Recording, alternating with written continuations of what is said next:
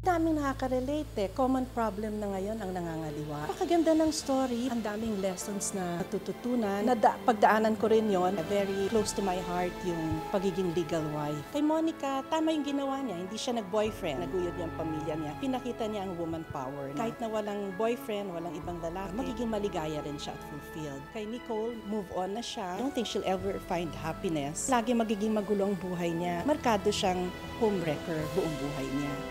Matutunan sana ng mga babaeng nakakaranas noon that kailangan mahalin mo muna ang sarili mo, hanapin mo ang sarili mo at ipakita mo na kaya mo rin mag-isa.